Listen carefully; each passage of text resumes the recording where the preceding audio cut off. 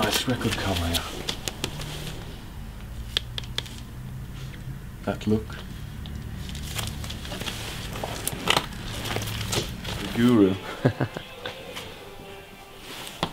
oh, fantastic.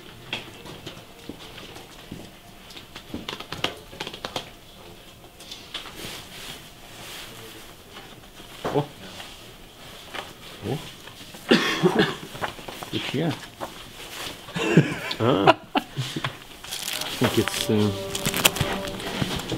it's in my blood, I guess, because I grew up with it, and it's just you know the the whole feel, and also, of course, the most important thing, the sound, uh, but also the feel of it's a piece of art. The design of the cover and the smell of it just smells wonderful, especially I mean old used records. It's like all the instruments as well. Uh, It's something about the, the history that I really, I mean, turns me on. Everyone should have a copy of this great album. Strange in Night by UFO. It's one of the best al live albums ever recorded. In the same league as Live and Dangerous and Live at Leeds. one of the coolest looking bands in the history, I would say.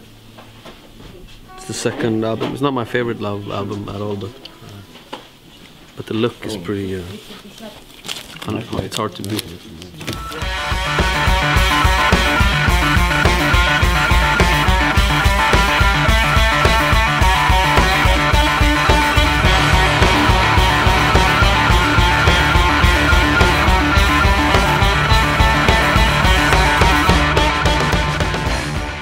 This album. I've been looking for it for a long time. Uh, it's Electric Mud by Muddy Waters. It's an album from 1968, and it's he has done some re-recordings here of his uh, some of his classic songs. Hoochie Coochie Man. I just want to make love to you, and also he plays "Let's Spend the Night Together" by the Rolling Stones, and it's uh, also the record covers uh, history in itself. It's a beautiful piece of art. Yeah, you got the man, and uh, I found this inside. I was really happy about it. A little booklet when he's doing his hair. Yeah. Get some inspiration for our next album. And also I, I bought those two. Uh, Ludwig recommended this album to me. Is uh, Jukka Tolonen, Finnish guitar, blues guitar player. I think he's still alive, isn't he? I think so. Yeah. I think he also lives here in Stockholm, still does. Uh, so I'm really excited about this one. I hope I will be allowed to play it at home uh, tonight because I'm not in charge of the stereo anymore. My three-year-old son is, so I gotta ask him first.